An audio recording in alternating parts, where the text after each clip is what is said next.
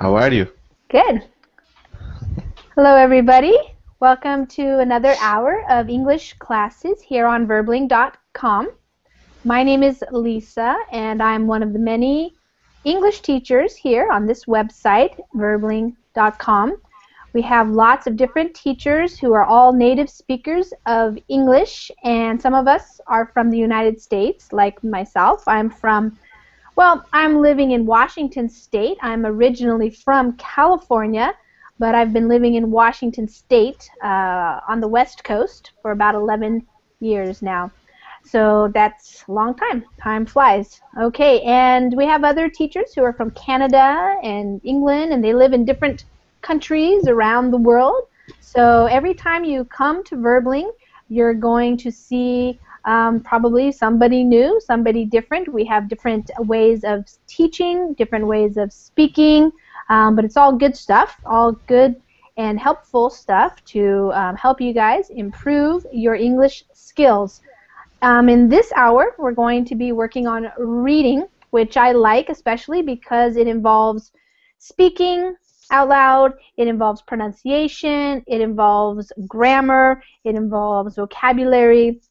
And um, it's usually interesting, and it's actually the whole uh, reason to learn another language is to be able to use it. So we're going to be using English to read this article, and it's pretty long actually, so I don't know if we're going to have much time to talk about it in this class, but I do have the next hour as well as a speaking class and we're going to keep the same topic of love, though we might go in different directions with the conversation and the questions.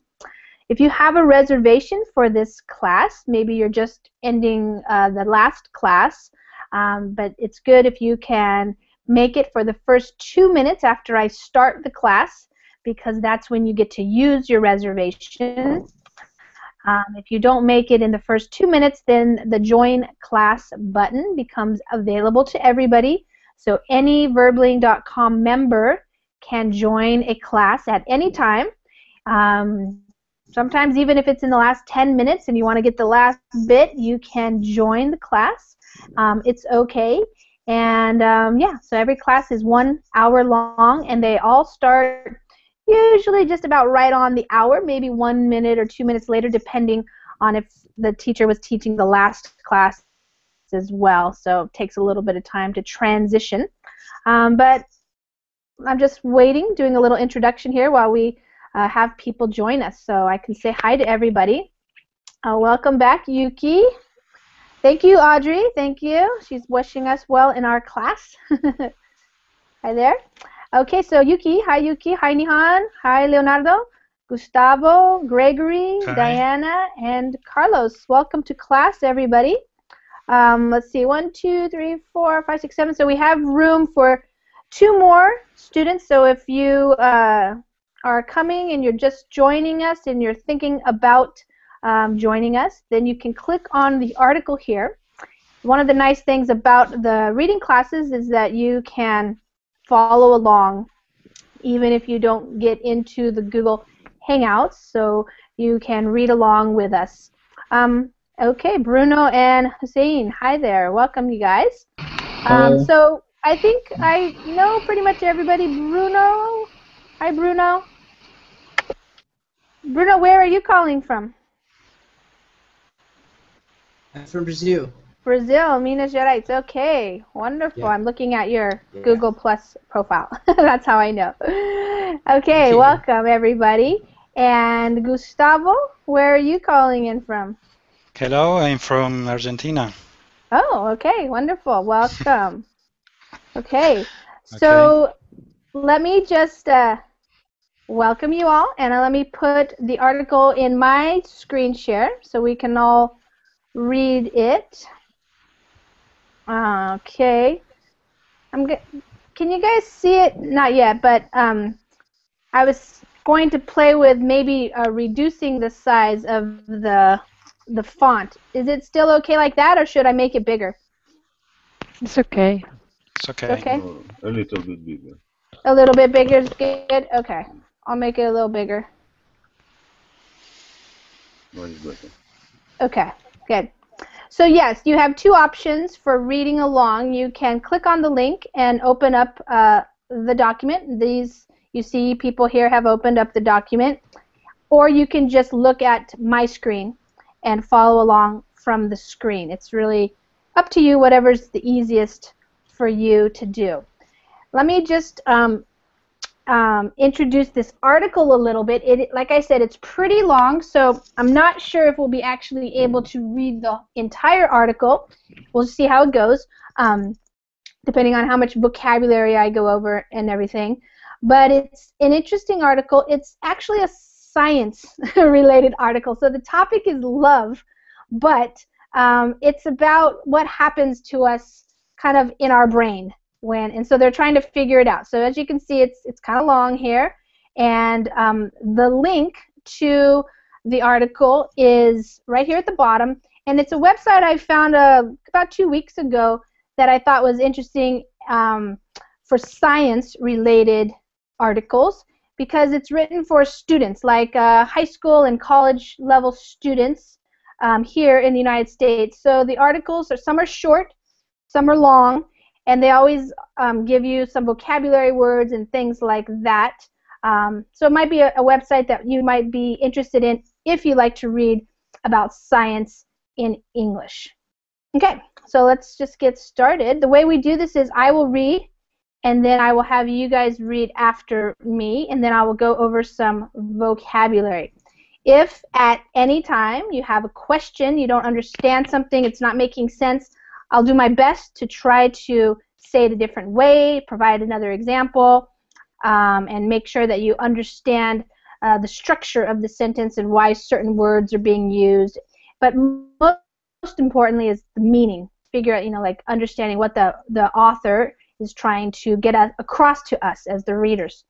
Okay, um, it's called When Cupid's Arrow Strikes. So I'm pretty sure you guys have all heard of Cupid, but I want to make sure you guys know what we're talking about here. this is a picture of Cupid, and I didn't really even think about it, but um, this Friday is Valentine's Day, so uh, I probably see a lot of Cupids around um, on the internet the, this week because um, at least here, I'm not sure, is it Valentine's Day in your countries too? Yuki, does Russia have Valentine's Day?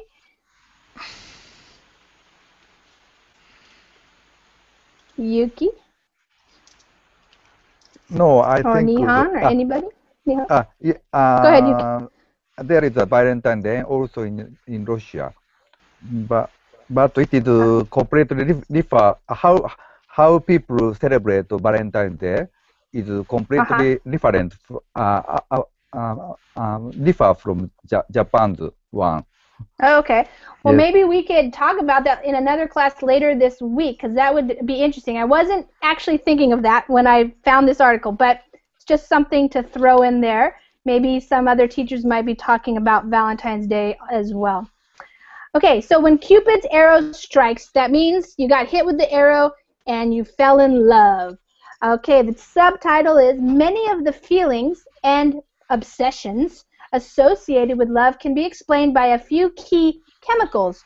Research suggests. So that's basically this article. So what happens when we start feeling this emotion, um, or he says it becomes like an obsession when you're in love? And really, we can break it down into some um, chemical responses or reactions that we have in our brain. So this person, Susan Gaidos, wrote this article and starts off Your heart is racing, your palms are sweaty, and your appetite gone.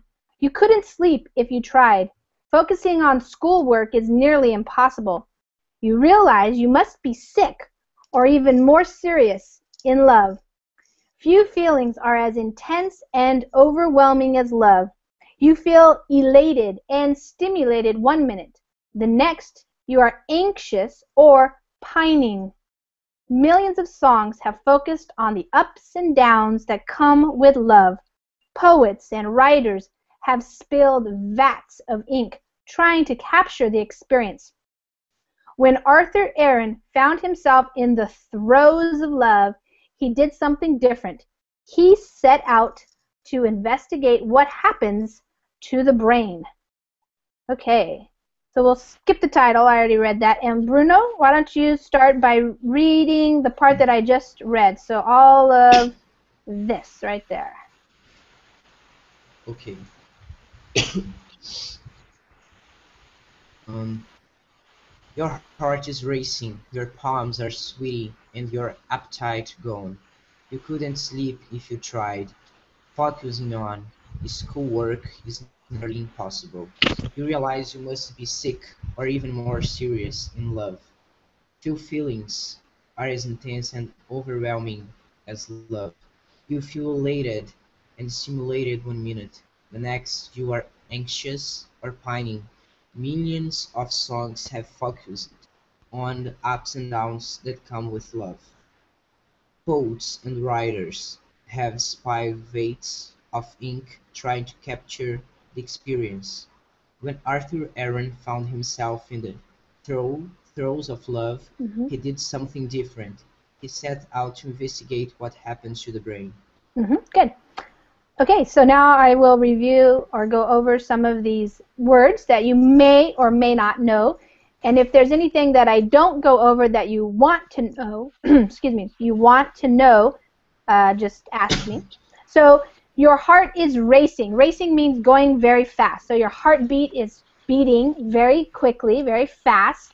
Your palms of your hands are sweaty, so they're like wet with sweat and you don't have an appetite. It's gone. These are kind of like the signs.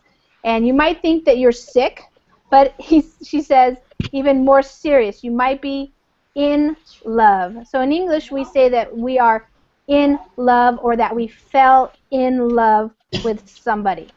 Um, she's saying that few feelings, so you guys understand the word feelings, being happy, being in love, feeling angry, those are our feelings. Um, they are few of them, so not a lot of them are so intense or overwhelming as love. Overwhelming means it's like it's what what you think about all the time. It's just like the the, the dominant emotion that you're having or feeling. It's it's overwhelming you. It's like the only thing you can think about. Uh, you feel elated, which means happy, excited. You're really in, in, you know just um, energetic because you're so happy and stimulated. You're like really looking around everywhere, and you're very um, aware of what's going on in one minute. But then the next minute, this is what happens when you're in love. You feel anxious, like you're nervous, or you're pining. Pining means you're like wishing you could be with the person you're in love with. You're pining away for that person. You're just like, you know, when you when you're in love with somebody and you have to be separated from them for a while, you start wishing you were with them again. That's called pining. And so lots of songs have focused on this. You know, that's the that's the subject matter of so many songs. And of course, poems and uh, stories. And so in this sentence, she says, poets and writers have, and this is pronounced, spilled vats of ink. So to spill means like to knock over and have the ink run on the floor. And vats is something very large. Usually you have just a small container of ink, but in this case, she's trying to make it, um, you know, talk about that lots and lots and lots has been written about love, and so they've spilled vats of ink, you know, written lots to capture the experience, to try to explain what it's like to be in love. So lots of poet, poets and writers have tried to do that. And then she's talking about this guy here, Arthur Aron, who found himself in the throes of love. If you find yourself, or if you are in the throes of love, it means you're in love. The throes is like you don't, you're like helpless. You don't, you can't do anything against it. You're just, you're caught by love, and you're in like an embrace of love. But he did something different than what most people do. He set out to investigate. So to set out means he started on like a when you set out for an adventure, it's mean when you start your adventure. So he started to figure out what goes on in the brain when you're in love. It was the late 1960s, and Aron was a student at the University of California, Berkeley. Working to complete a master's degree in psychology, he looked forward someday to having a career as a college professor. His studies focused on the way people work and relate in small groups. Then Cupid intervened. Aron fell for Elaine, a fellow student. When he thought of her, he experienced all the symptoms of new love euphoria, sleeplessness, loss of appetite, and an overwhelming desire to be near her. Everything was intense, exciting, and sometimes confusing. To sort through the fog, Aron began searching for published data about what goes on in the minds of people in love, and he turned up almost nothing. At that time, few researchers had begun probing the biology of romantic love. Okay. So we just go in line here. Carlos, you're next. It was the late 1960s. Okay, where, where, where am I going to finish, teacher? You're going to finish right here. Romantic love will be the last part. So a couple of paragraphs there. Three. Oh, okay, romantic love. Here, I can highlight it for you. There you go. Okay. It was the late 1960s, and Aron was a student at the University of California, Berkeley. Working to complete a master's degree in psychology, he looked forward someday to having a career as a college professor. His studies focused on the way people work and relate in small groups. Then Cupid intervened. Aron fell for Elaine, a fellow student. When he thought of her experience, all the symptoms of new love euphoria, sleeplessness, sleeplessness loss of appetite, appetite, and an overwhelming desire to be near her. To be near her. Everything was intense, exciting, and sometimes confusing. To sort through the fog, Aron began searching for published data about what goes on in the minds of people in love, and he turned up almost nothing. At the time, few researchers had begun probing the biology of romantic love. Good. Okay. So what happened to him is when he fell in love and he set out to figure out what is going on in his brain because you know he was studying psychology, a master's degree in psychology, and so that was something that was interesting uh, to him.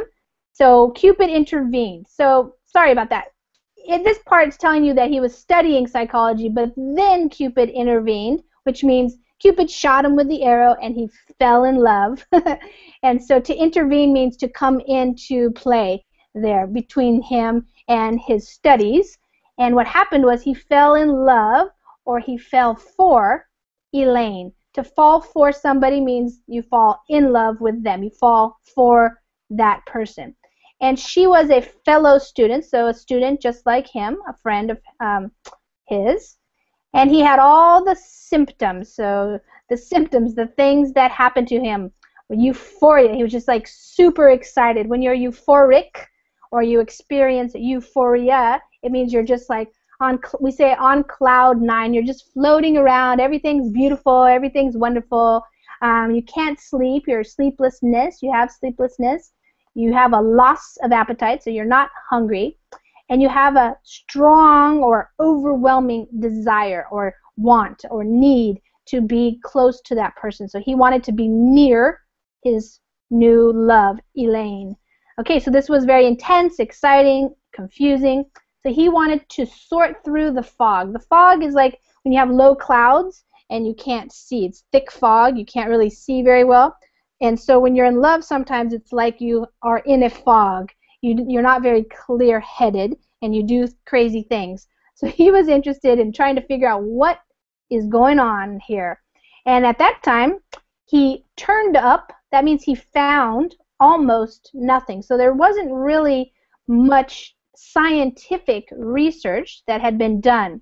So there hadn't been any probing. Probing is testing. When you probe something, you test it. So um, the scientists at that time had not probed or had not begun probing um, or testing or researching the biology of romantic love. So when you fall in love with somebody. So Aron dove into the topic himself. Sorry. He, yes. Uh, to, throw, to sort through the fog. Uh, Yep. Sort is, I think, verb. What does it mean? Yes. So this is a like a phrasal verb here to sort through. So to sort means okay. So let's say Yuki, you went and you got your mail from your mailbox, and you have a bunch of different bills and some things from you know different people, and you're going to sort your mail. You're going to put all your bills in one pile and some other things in another pile. You're going to sort through it. That that's what you're doing with your mail. But what he's trying to do and so you sort through something to so you can understand it better. It's like to organize something. But in this case, he wants to sort through the fog, and the fog is representing the um, confusion that he has about love. You know, why why are all these things happening to me? You know, I'm not hungry. I'm crazy. I you know I can't sleep. That's kind of like the fog that you're in when you're in love. You're you're confused, and so he wants to figure it out. So to sort through is kind of like figure out uh, or understand the confusion. He wants to understand what does this mean. So to sort through the fog, another way to say that means to understand something better, something that's not clear, because the fog is not clear. You know, if you have fog at um, in the winter, we have fog and you're driving on the road and you can't see if there's fog. If it's really thick fog, it's hard to see. So does that Okay. make sense? I could Fog so, is- sort through the fog. Thank you. Yes. Fog, Fog? is like is like uh, clouds, no? Yes. When they're low to the ground. And Okay. so if you're driving and there's the fog, some places like where I used to live in California, they have really thick fog like this time of year in the morning or late at night. It makes it very difficult to see uh, where you're driving, the roads, because Yes. it can, yeah. So that's kind of it. He, so he had all this confusion, and he was trying to sort through it. You know, if you sort through your problems, you know, I have to sort through this problem. It means I have to figure out what's going on. How can I understand this better? And that's what he's trying to do. Understand what is this thing we call romantic love? Why are all these things happening? And why do they seem to happen to everybody? Okay, so Aron dove into the topic himself. He continued his research at the University of Toronto, where he wrote a long report on the subject. He also married his sweetheart, Elaine. Today, he teaches psychology at the Stony Brook University in New York. When he's not teaching, he continues to study what happens when we fall in love. Recently, he teamed up with other scientists to peer into the noggins of people giddy with love. Their goal was to map love's impact on the brain. The studies reveal that when shown a sweetie's picture, a person's brain will fire up in the same areas that respond when anticipating a favorite food or other pleasure. What we're seeing is the same response, more or less, that people show when they expect to win a lot of money or expect to have something very good happen to them, Aron says.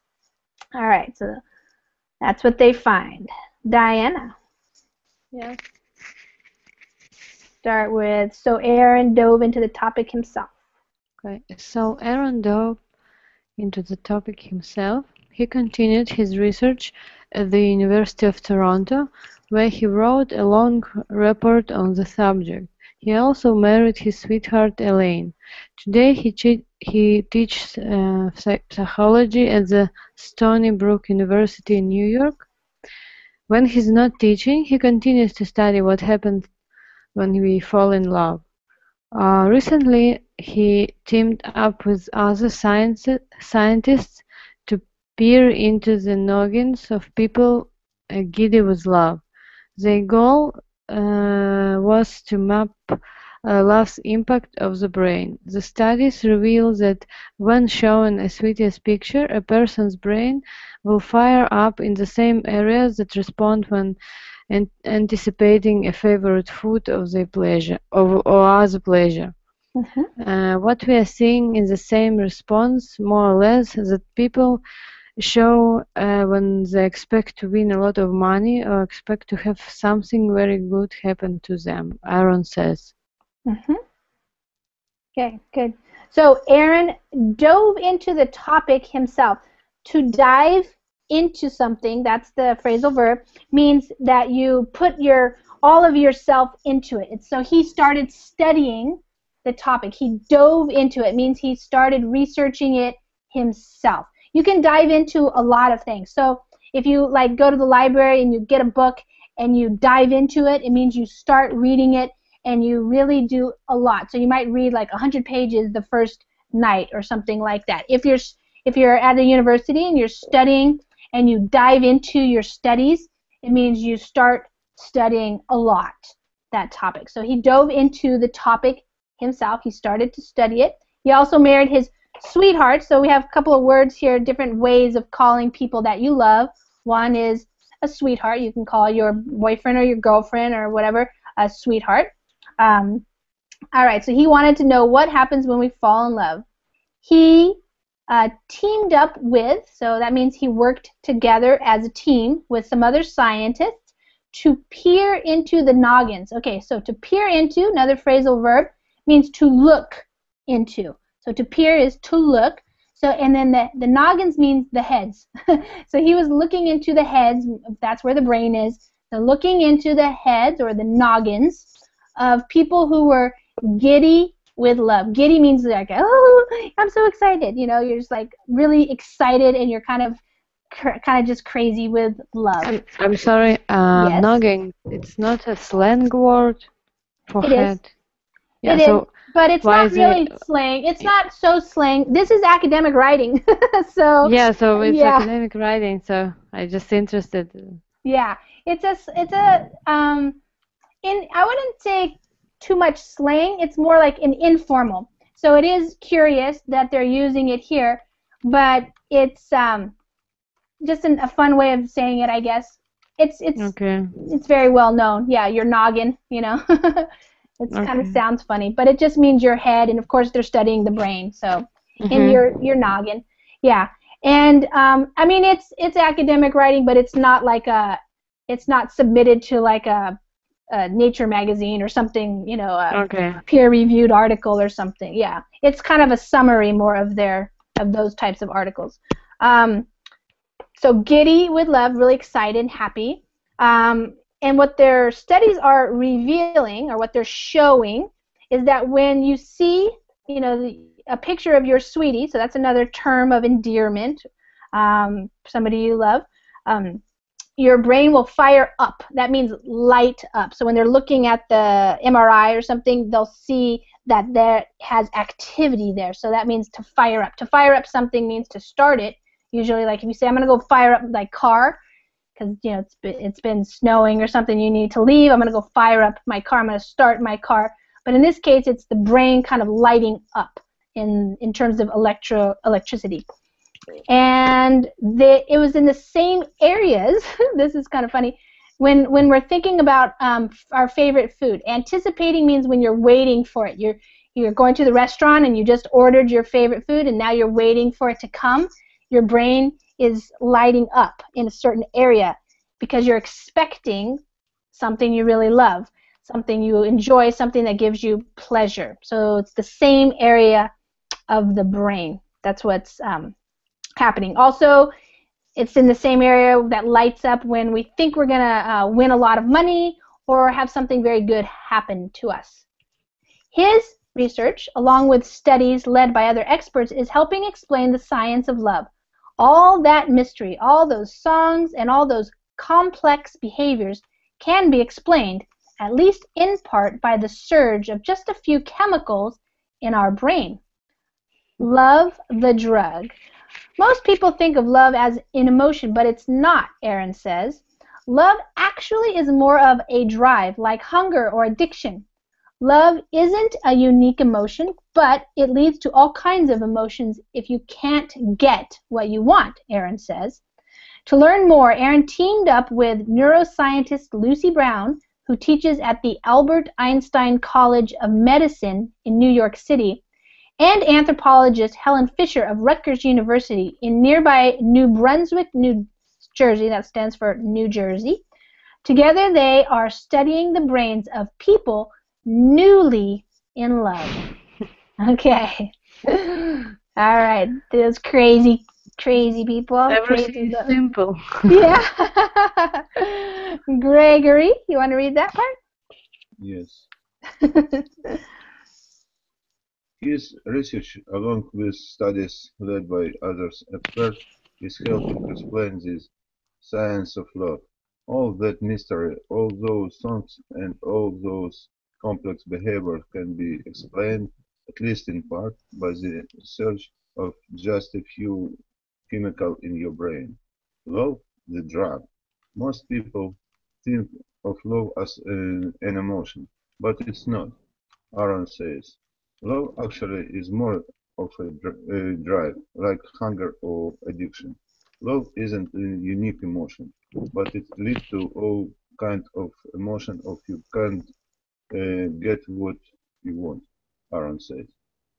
Um, to learn more, Aron teamed up with um, neuroscientist Lucy Brown, who teaches at the Albert Einstein College of Medicine in New York City, and anthropologist Helen Fisher of uh, Rutgers University in nearby New Brunswick, NJ together uh, say are studying the brains of people newly in love. Mm-hmm. Good. Okay, so the surge of the surge is like um, uh, when a, a bunch of electricity happens all at one time. That's called a surge. So that's what happens. Um, you know, these complex behaviors are really being caused by just this this surge, this all of a sudden having a lot of energy or lighting up in of some chemicals in our brains. So that's why they're saying love the drug. And they're trying to tell us that even though we think of it as like an emotion, how we feel, it's more like a drive, something like hung- we are, we're driven to go eat something because we're hungry, or when we're addicted to something, we have this drive that makes us want to go and get it. And so again, the, the phrase here to team up with, so that means to work together on a team. Um, and New, NJ is New Jersey. In the United States, we have uh, two letter abbreviations for every state. Um, so we use, you'll see those a lot in articles. Um, and he wants to study the brains of people newly in love. So a lot of these um, symptoms that people have are in the very beginning stages of being in love with somebody. Kind of, it's a new sensation. All right. So for one study, each of their love-struck recruits started by filling out a questionnaire designed to gauge the intensity of his or her feelings. The scientists then rolled each volunteer into the giant cylinder of a big machine to see which brain regions are most affected by love. The machine is called a functional magnetic resonance imaging or fMRI scanner. It detects the cha- it detects changes in the flow of blood in various parts of the brain. Increased flow generally identifies areas that have become more active. While, this, while in the scanner, subjects viewed a heartthrob's photo. At the same time, scientists asked them to recall their most romantic memories. Each recruit also looked at photos of friends or other people they knew. While the volunteers viewed all of these snapshots, the researchers asked them to remember something about the subject of each. Okay. Gustavo. Okay, Lisa, I will try. okay. Uh, for on study, no? One study, yep. Okay. For for one study, each of their love-struck recruits started by filling out a questionnaire designed to gauge the intensity of his of her feelings. The scientists then rolled each volunteer into the giant cylinders of a big machine to see which brain region of are most affected by love. The machine is called a functional magnetic resonance imaging or fMRI scanner. It detects change in the flow of blood in various parts of the brain. Increased flow generally identifies areas that have become more active. active. Mhm. While in the scanner, subjects viewed a heartthrob, I don't know, hmm Photo. Heartthrobs photo. he- Yep. heartthrob photo. At the same time, scientists asked them to recall their most romantic memories. Each recruit, recruit also mm-hmm. looked at photos of friends, friends, or other people they knew. While the volunteers viewed all the, these snapshots, the researchers asked them to remember something about the subject of each. Mm-hmm. So, love struck recruit. So, a recruit is somebody that you recruit. So, the verb to recruit um, it means you go and you get somebody to do something. In this case, the study. They, they recruited people to be in the study, and so they call those people recruits. And of course, they want love struck. So, struck by love. So, they are in love, these recruits.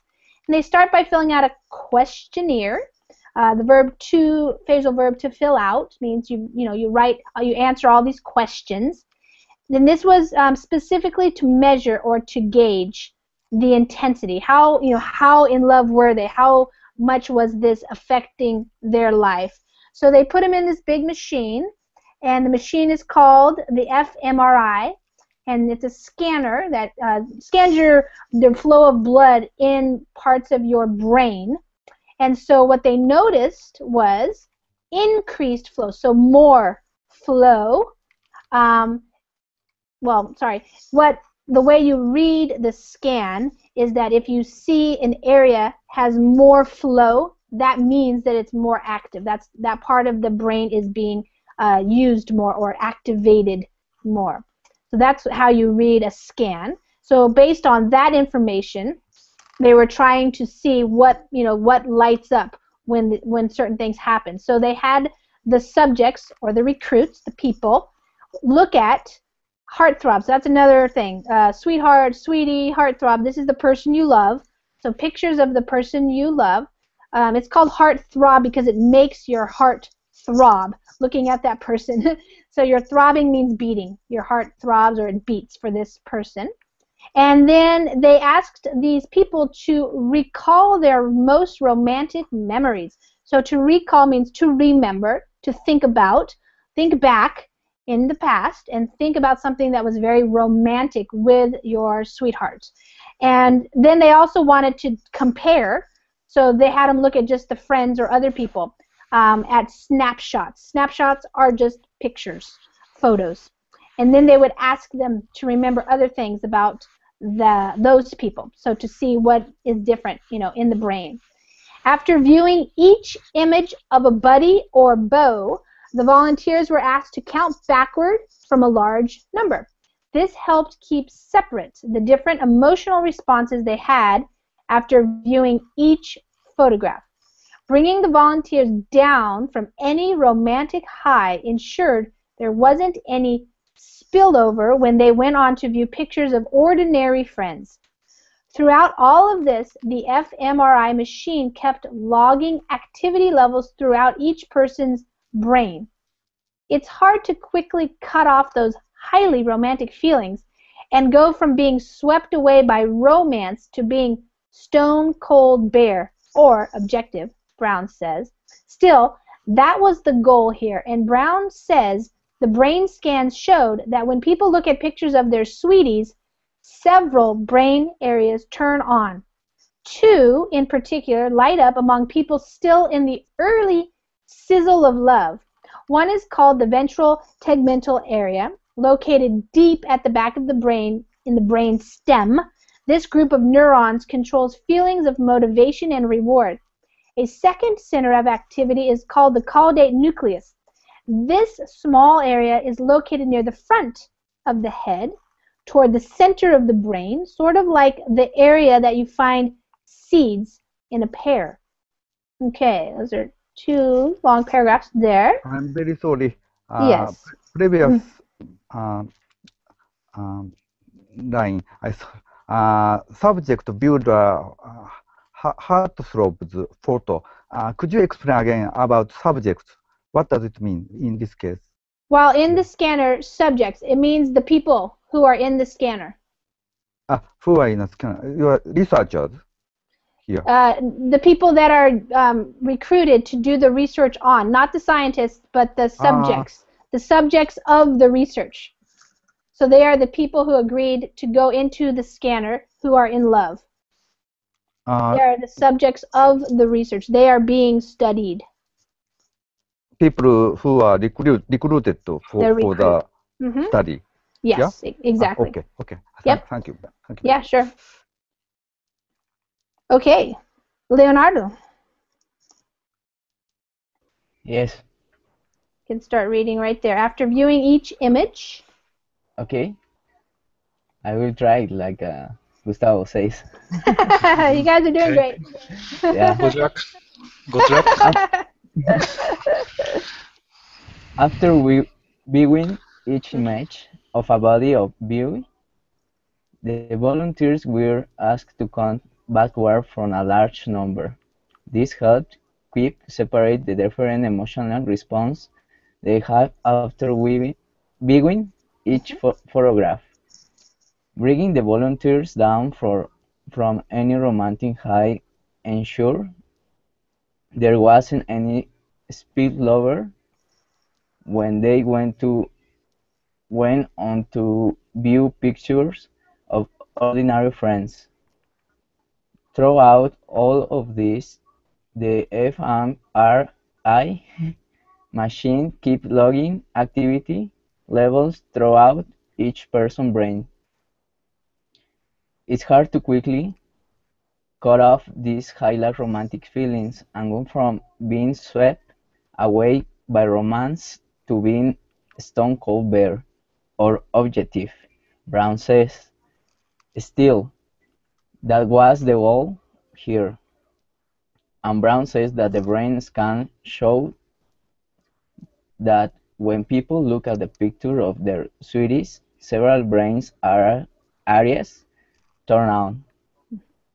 Um, that is all, or Oh, you keep reading the next paragraph too. Okay. Two in particular lie, lie up among people still in the early sizzle of love. hmm One is called the ventral tegmental area, located deep at, at the back of the brain, in the brainstem. This group of neurons control feelings of motivation and rewards. A second center of activity is the caudate nucleus. This small area is located near the front of the head, toward the center of the brain, sort of the like the area that you find scenes in a pier. hmm Good. Okay, so what's happening here? So after viewing each image of a buddy, so a buddy would be a friend, or a beau is your boyfriend. Okay, so what they're trying what they're trying to do is separate your emotional response. So they have you count backward, like maybe starting at you know 999, 998, 997, something like that. And that what they think that does is you know separate the feelings that you had for your person you're in love with. The romantic high is what they call that to be high on the romantic feelings while you're looking at the picture. And then to make sure that there wasn't any spillover spillover is like that emotion going into when you just look at your friend's picture um, it spills over into that so they don't want that to happen they want them to be separate responses. So um, that's what they're trying to figure out how to do.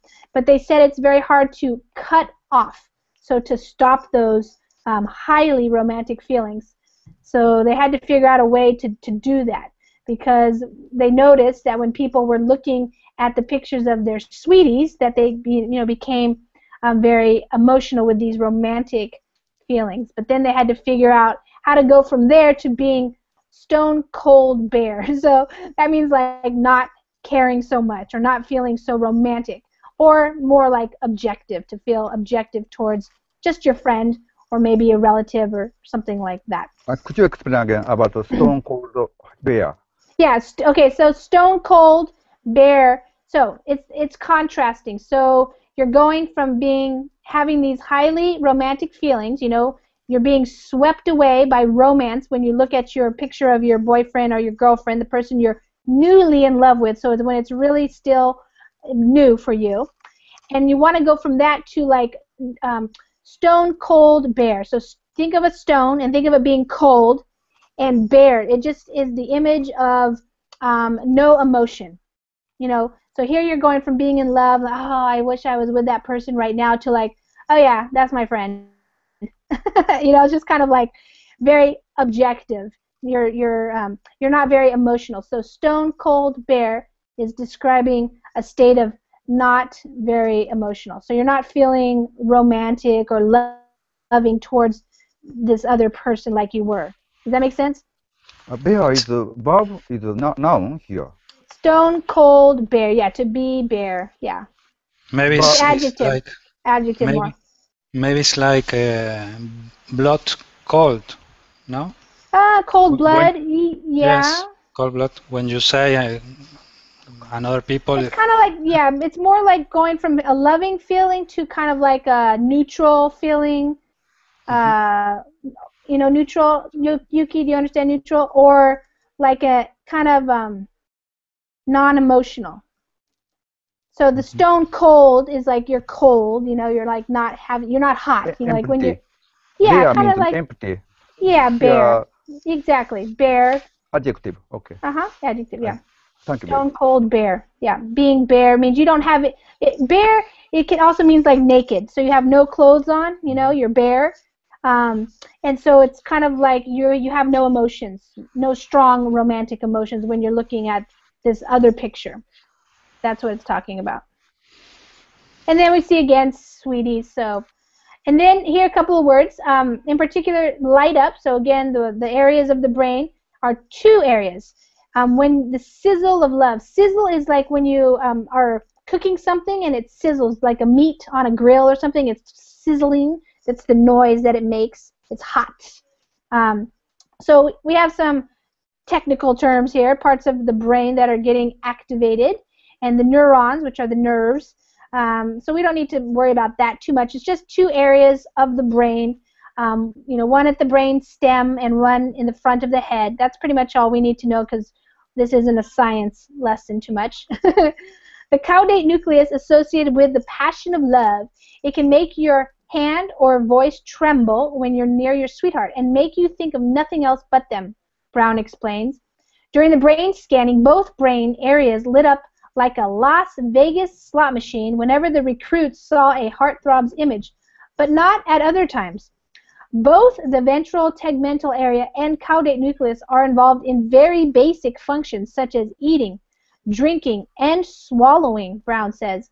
These are things people do without thinking. Indeed, she notes, much of the activity that goes on in those areas is done at the unconscious level. That may be one of the reasons that the feelings associated with early love are so hard to control. Okay. And Nihan. The caudate nucleus associ- associated with the person of love. It can make your hand or voice tremble when you are near your sweetheart and make you think of nothing else but them. Brown explains. During the brain scanning, both brain areas lit up like a Las Vegas slot machine whenever the recruits saw a heartthrob image, but not other times. Both ventral tegmen- tegmental area and the caudate nucleus are involved in very basic functions such as eating, drinking, and swallowing, Brown says. These are things people do without thinking. Indeed, she knows much of the activity that goes on in those areas is done at the unconscious level. That may be one of the reasons that the feeling associated with the early love are so hard to control. hmm Good. So basically, describing that the passion of love. So the passion is like the feelings that you you know, and your hands shake, they tremble, your voice trembles. That means shake.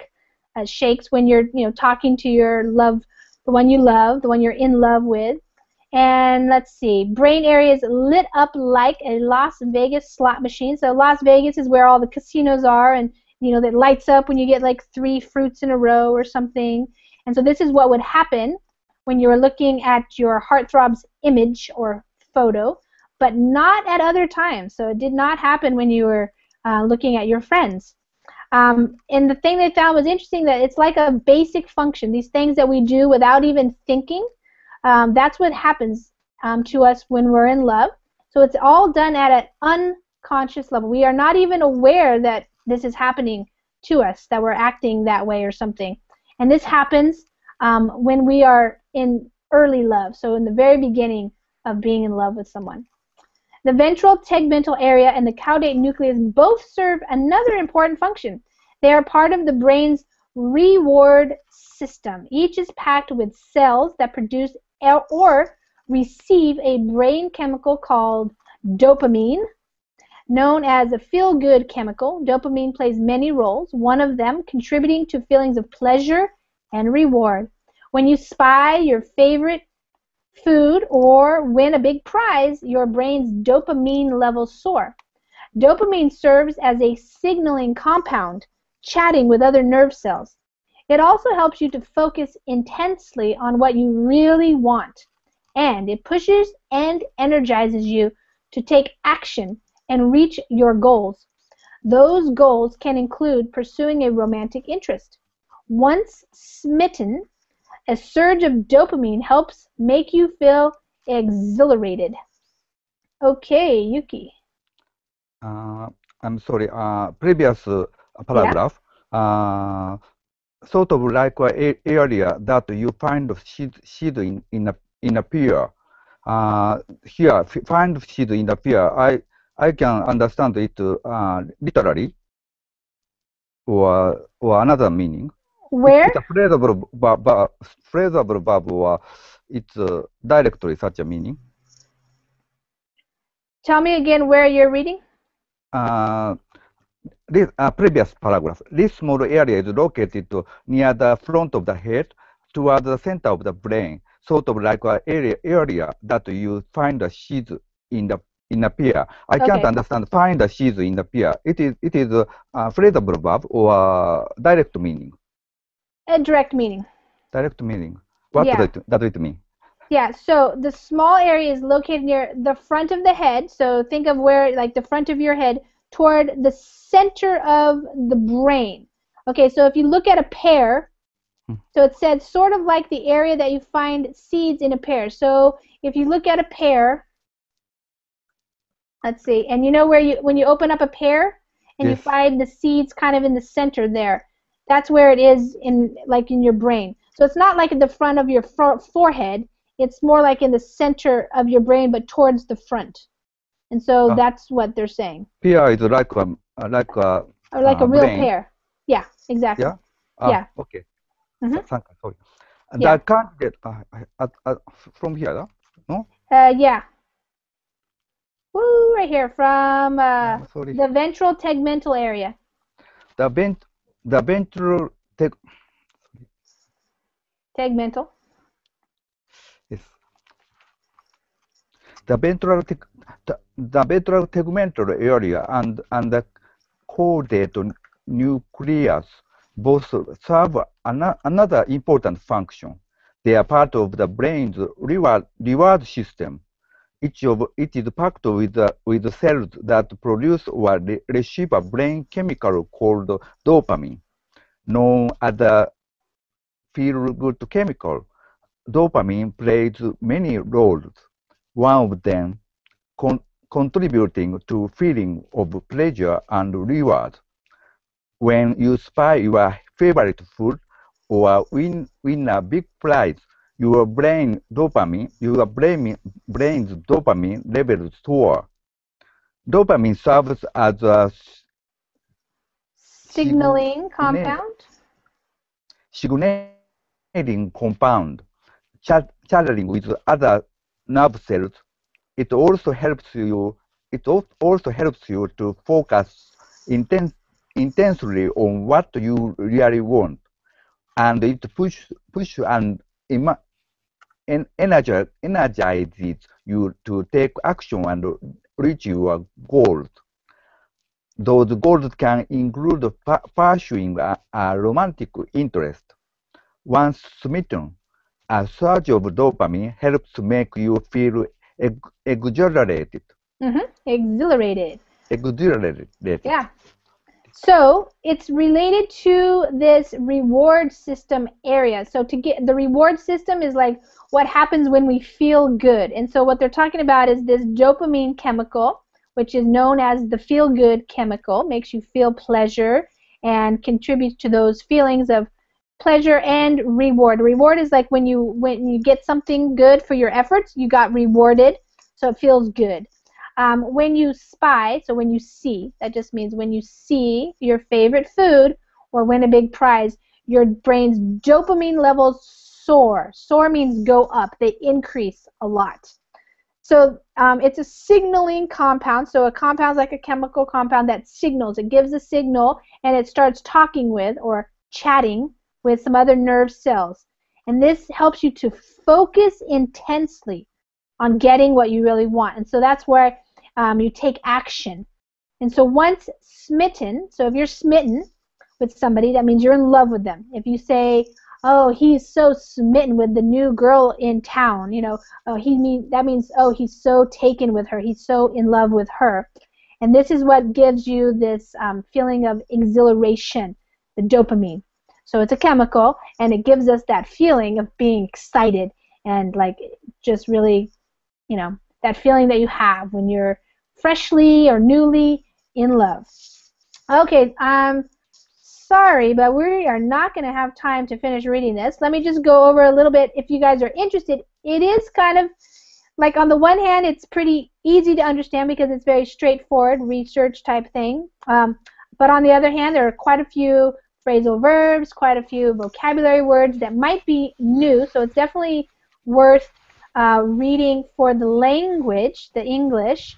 Um, but you know, if it's interesting to you, I recommend that you keep reading it on your own time. And if you need to look up words, you know, you have a online dictionary or something. But um, the subtitles are uh, Is it stress or love? So it talks about that and about the same kind of responses of being stressed. And hugs and how important giving hugs and receiving hugs can be in terms of the other chemicals that are released. One of them is known as oxytocin. Makes you feel good too. And that gets released when um, people are hugging. So that's another thing that you might want to read about. And then it goes into the social hormones. So even these things can happen when we're on Facebook or when we are um, doing something with our friends. It's not just about being in love, but also mothers and babies feeling connected to each other. These are other um, chemicals and hormones that give us the feelings of um, being connected, feeling um, loved, and um, helping us connect with each other. So I thought it was pretty interesting, and definitely for people who are interested in reading this type of scientific literature, it has some good uh, scientific terminology and just a higher level of vocabulary in general. Yes. So you guys, um, any questions Okay. before we finish? Yes. Where where can I buy this machine? It's a like machine. yeah. Yes. Okay. Or scan. Yes. Yeah.